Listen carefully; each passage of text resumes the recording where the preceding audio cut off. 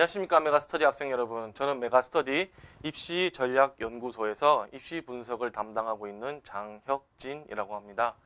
자 이번 시간은 논술 전형 이렇게 선발한다. 논술 전형 어떻게 선발하고 누가 준비해야 하나에 대해서 알아보도록 하겠습니다. 여기 사진 보이시죠? 정말 많은 학생들이 논술고사를 열심히 치르고 있는데요. 정말 이 앞에 사람들 학생들부터 저 뒤에 정말 끝이 보이지 않는 곳까지 학생들이 많이 시험을 보고 있습니다. 왜 이렇게 학생들이 논술 전형에 관심을 가지고 어, 또 논술 전형에 지원을 하는 것일까요? 이것은 참 여러 가지 이유가 복합적으로 작용하기 때문인데요. 우선 첫 번째로 논술 전형은 특별한 지원 자격이 없습니다. 보통 논술 전형을 일반 전형으로 분류를 하는데요. 일반 전형은 말 그대로 고등학교 3학년을 졸업한 학생이라면 고등학교를 졸업한 학생이라면 누구나 다 지원 가능한 전형을 말합니다. 논술 전형도 일반 전형의 한 종류이기 때문에 사실 특별한 지원 자격이 없고요. 예외적으로 서울 시립대가 있는데 서울 시립대는 전년도 즉 2014학년도 어, 입시 때부터 어, 논술 전형에 지원을 하려면 학교장의 추천을 받아야 되는 것으로 자격 조건을 걸어놨습니다.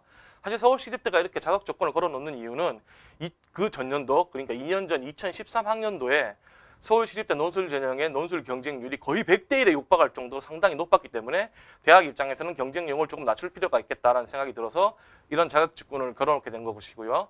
어, 서울시립대가 학교장 추천을 받아야 논술 전형에 지원을 하려면 학교장 추천에 받아야 되는 이러한 어, 지원 자격은 2016학년도까지 현 고의가 치르는 어, 입시까지는 꾸준히 이어져 오고 있습니다.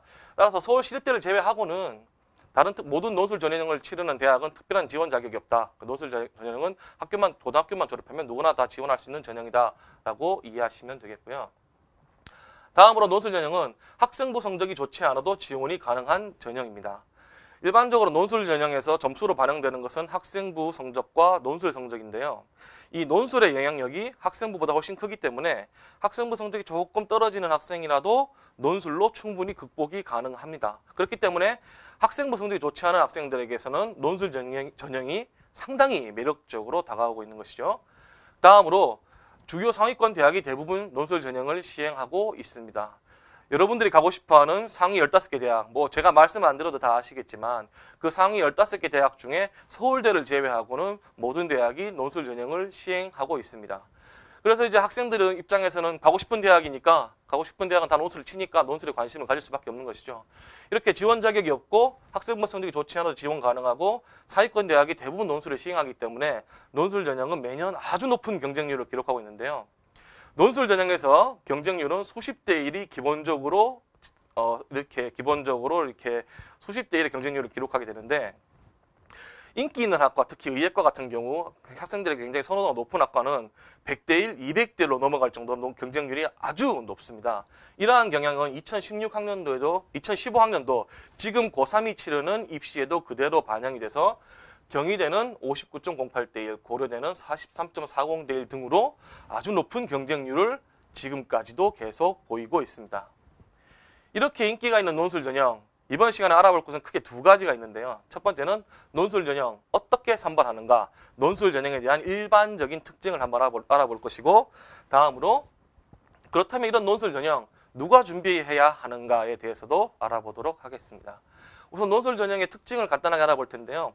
논술 전형의 구성을 보게 되면 논술, 학생부, 수능 최저 기준 이 세 가지를 일반적으로 반영을 해서 학생을 선발을 합니다.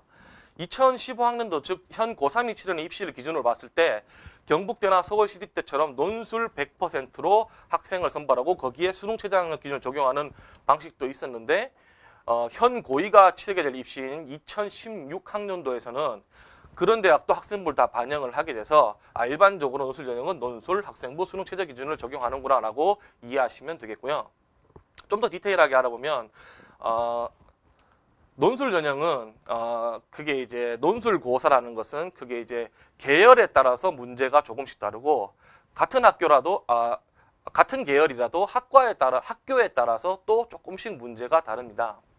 보통 일반 어, 보통 인문계 학생이 치르는 인문계 논술은 주어진 제시문을 잘 분석하고 논제의 조건에 맞게 글을 쓰는 글쓰기 논술이 많이 출제가 되는데요. 대학에 따라서 어, 영어 제시문이 포함되는 그러한 유형의 문제를 출제하는 대학도 있고 어, 고등학교 인문계 고등학생 수준의 수리 논술이 출제되는 대학도 있습니다. 자연계 학생이 치르는 논술은 크게 수리 논술과 과학 논술로 구분이 되는데요. 어, 대학에 따라서 수리 논술만 보는 대학이 있고 수리 논술과 과학 논술을 함께 보는 대학도 있습니다. 여기서 또 과학 논술은 두 가지 유형으로 구분이 되는데요. 대학에 따라서 과학 4개 과목, 물리, 화학, 생명과학, 지구과학 이 네 가지 중에서 학생이 원하는 것을 선택할 수 있는 과학 선택형으로 출시되는 대학도 있으며 대학이 과학 4개 과목에서 마음대로 출제를 하고 학생은 선택 권한이 없는 과학 통합형으로 출제되는 곳도 있습니다. 다음으로 수능 최저하는 기준 잠깐 언급을 할 텐데요. 어, 2015학년도 현 고3이 치르는 입시를 기준으로 봤을 때 한양대, 한국항공대 등등 몇몇, 몇몇 대학을 제외하고는 대부분의 대학이 수능 최저학년 기준을 적용합니다. 그런데 이제 이 수능 최저, 이 최저라는 말 때문에 학생들이 오해를 하고 있는 것이 있는데 최저라는 말이 왠지 누구나 다 할 수 있을 것 같다, 별거 아닌 것 같다라고 생각하시는 학생들이 되게 많은데요. 사실 논술 전형은 명목상 보이는 경쟁률은 되게 높지만 실질적으로 논술로 경쟁하는 학생들 경쟁률은 거의 절반 수준으로 떨어지는 경우가 많습니다. 왜냐하면 수능 최저학년 기준을 충족하지 못한 학생들이 많기 때문이죠. 그만큼 논술 전형에서 수능 최저학년 기준은 최저란 말에 현혹돼서는 안 되고 굉장히 충족하기 의외로 어렵다라는 것을 이해하시면 되겠고요. 학생부를 조금 더 자세히 살펴보면 일단 논술 전형에서 점수로 반영이 되는 것은 논술과 학생부 성적입니다.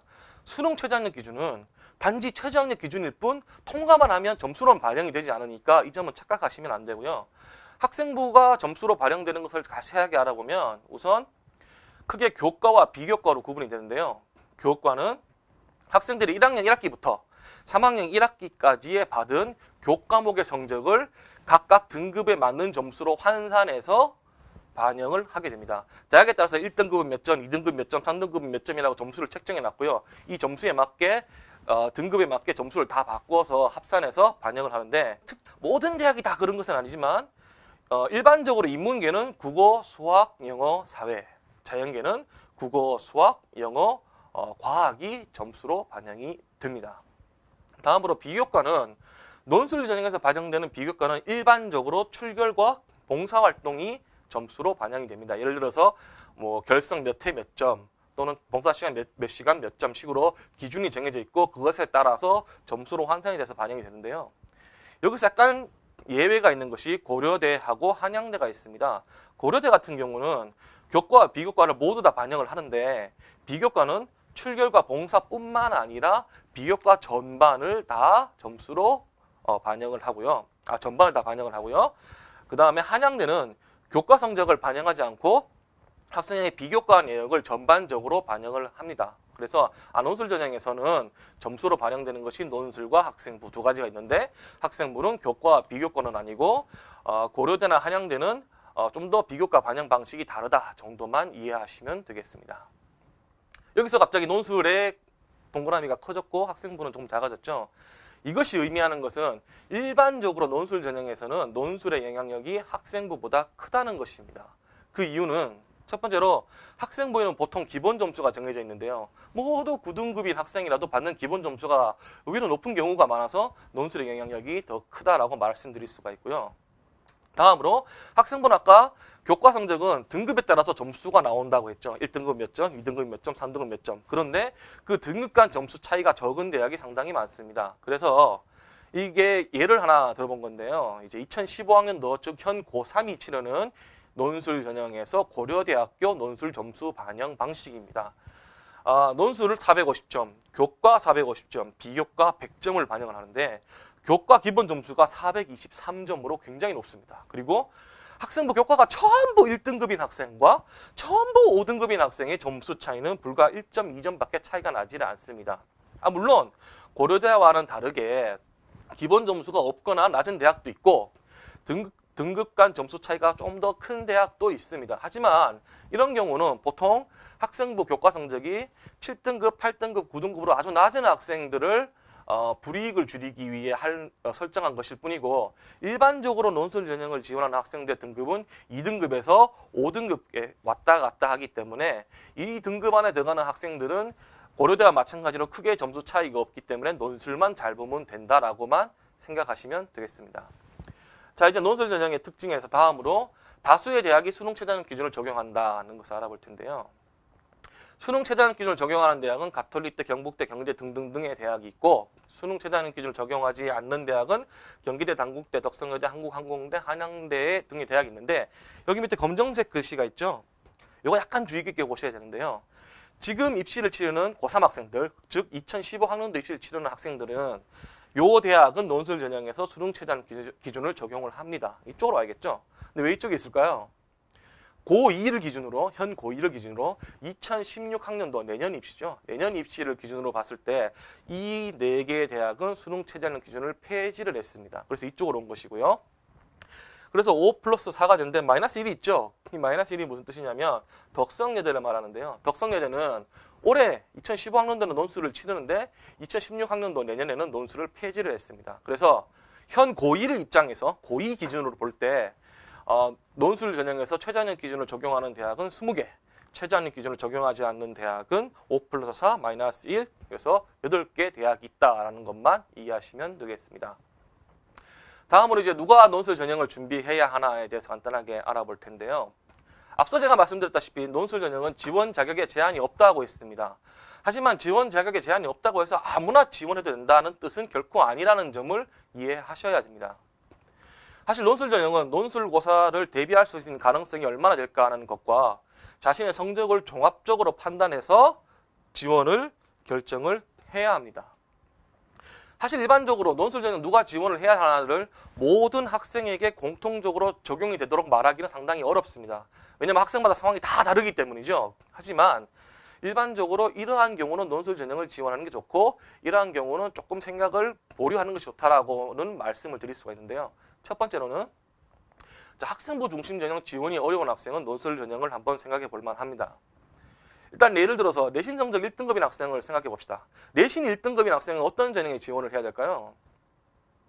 내신 1등급이라면 본인의 장점인 내신 성적을 살려서 학생부 교과형 전형으로 지원하는 것이 좋습니다.